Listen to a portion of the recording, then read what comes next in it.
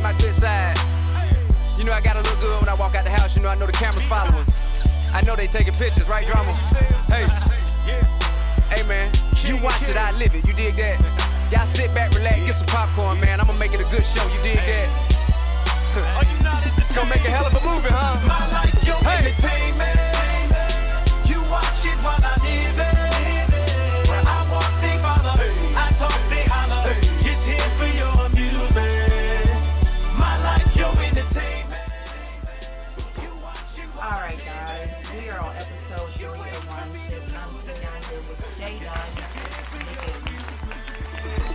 Hey, the price of fame, I think I paid. Want my change? I done gave everything in my possession for my seconds. It's gonna be interesting.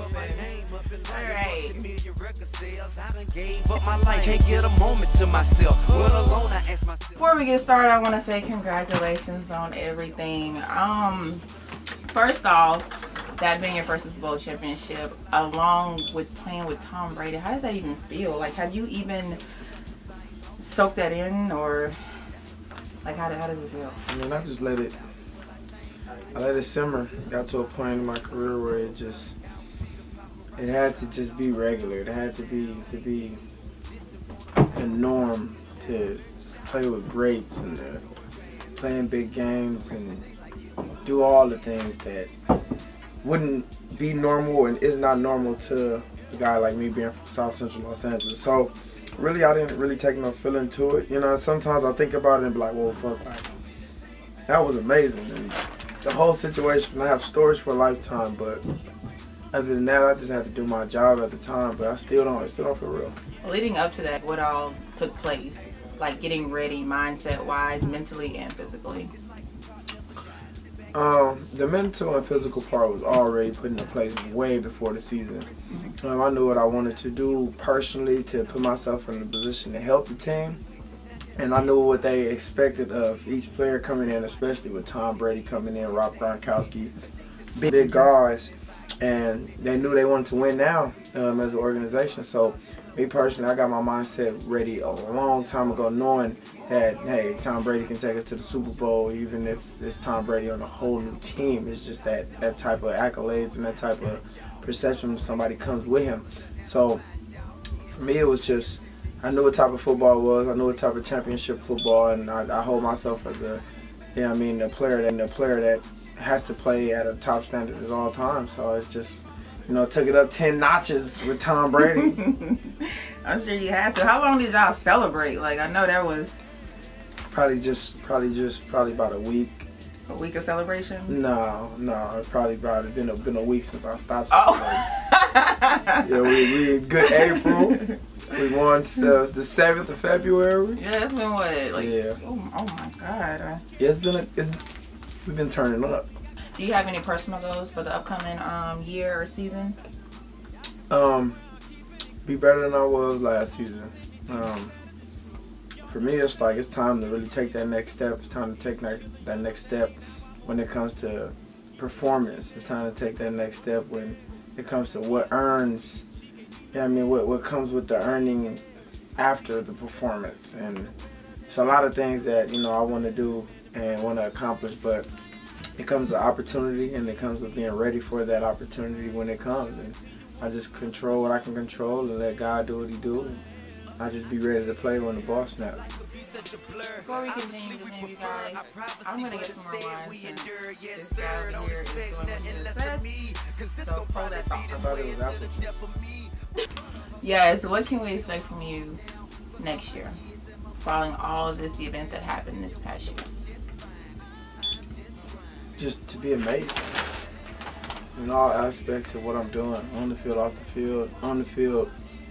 You know what I mean? I have to be amazing. Like it's like you say that, and some people be like, "Man, that's you being cocky." No, no, for real. To keep your job, to you know, to keep your job to go to the next level and get that raise in your job, you got to be amazing. So that's really my mindset. It's mindset. It's, it's, it's a lot of integral parts in there and details in there that I can, you know, explain. We'll be here all night, probably for a whole year, but being amazing is the best way I can explain in a whole flurry of things.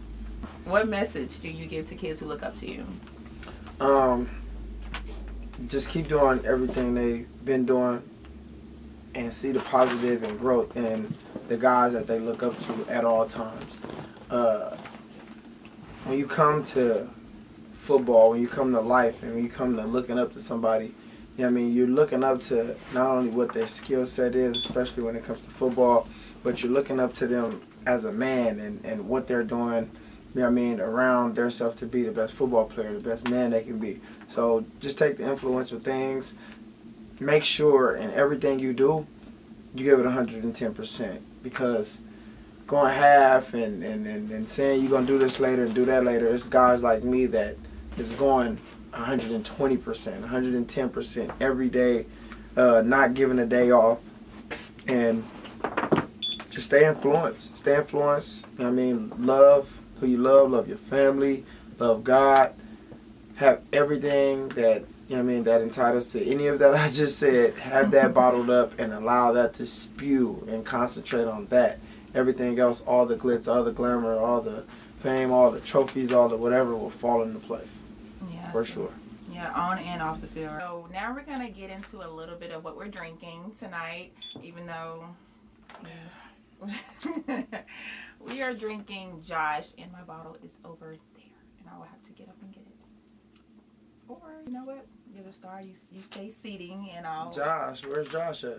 I ain't know Josh you. I ain't know you Isn't had. that cool, I would feel too good if it drink like juice. Did you guys even you celebrate with wine when you you know one or just straight champagne and other alcohol beverages? Yeah, I don't think wine was anywhere in that in that topic of discussion when it comes to what we drink, and I, I promise you, wine wasn't in that. It wasn't okay. Mm-mm. Well, now we're Mm-mm. having it, and this is again, this is Josh. You guys red blend. Uh, it's not so much of a bitter taste. It's not so much of a sweet taste. Honestly, it's a another great entry point for wine if you want to get into it, especially with reds. Red blends are definitely a go-to. And that is what we're drinking tonight. And honestly, I will have it rated on my um, wine rates and my highlights on my Instagram story later this week. And that way you can check it out with more details about it. Do and what do we look for in the future. And all that good stuff. And what I had to do with leading up to this is this is what you guys are getting right now. Right.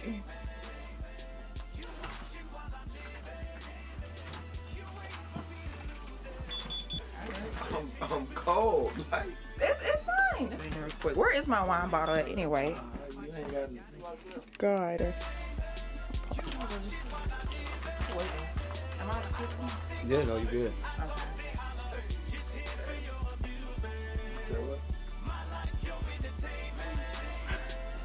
I put this in the bloopers. You understand me? Yeah, I ain't got time for this shit. Now let's go back to being regular. Look, you, you got me. You got me fucked up.